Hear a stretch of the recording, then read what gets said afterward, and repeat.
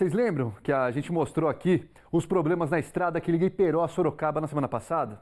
Pois é, agora uma boa notícia. As obras finalmente começaram.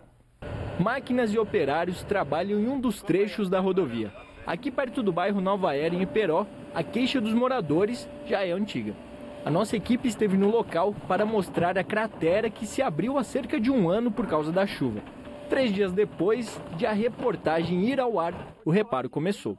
Por que, que só agora, quase um ano depois, que as obras começaram? Desde o momento que aconteceu aqui a nossa erosão, o prefeito vem buscando apoio junto à Brasília para o custeio dessas obras, né?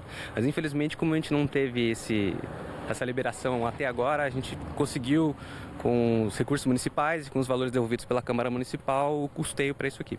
Essa estrada vicinal é a principal ligação entre Sorocaba e Iperó. Trafegam diariamente aqui nesta estrada mais de 4 mil veículos. Esse número é praticamente a metade da frota de Iperó.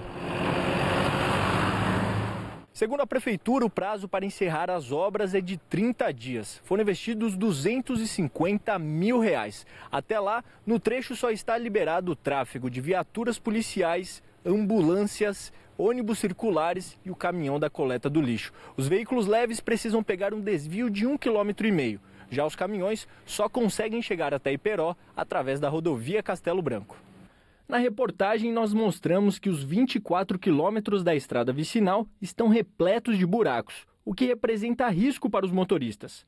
Mas agora, esses buracos estão sendo tapados. E lembra da quantidade enorme de lixo que tinha aqui? Já foi retirado.